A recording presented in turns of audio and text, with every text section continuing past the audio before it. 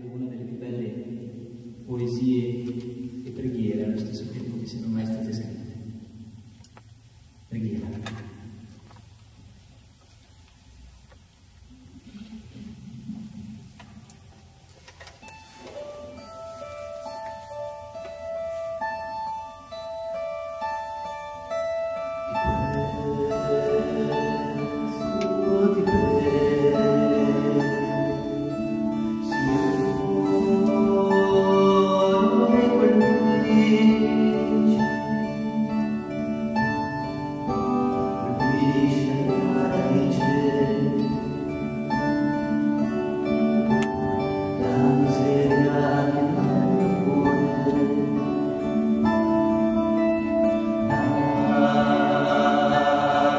Senhor.